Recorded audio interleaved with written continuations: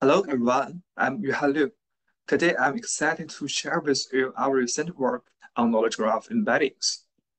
Figure 1 shows a typical example of a knowledge graph, showing his a knowledge graph structure with both hierarchical and chain components, along with interactive relationships between them.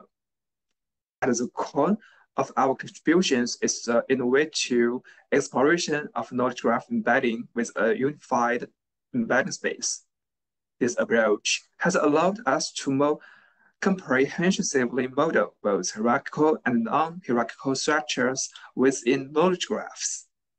One of the crucial breakthroughs of our research is the presentation of UniG, a model based, based on optimal transport theory.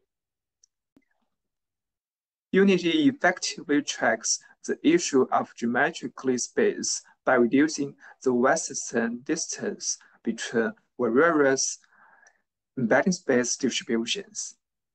This not only enhances the compatibility between different types of geometrical space, but also establish a more robust error bound than those observed in Euclidean and hyperbolic space our theoretically analysis and extensive experiments underscores scores effectiveness of UniG.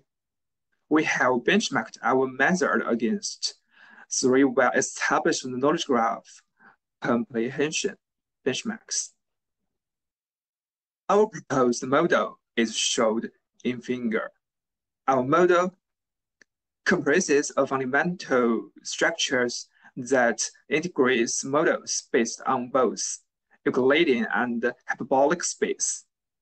A knowledge graph embedding alignments dynamics learner employ optimal transport principles, and a knowledge graph embedding fusion model designed to fusion embeddings from both space.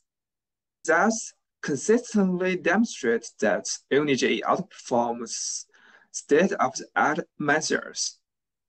the performance of UniG encourage future research into unified geometrical approaches. Thank you for attention.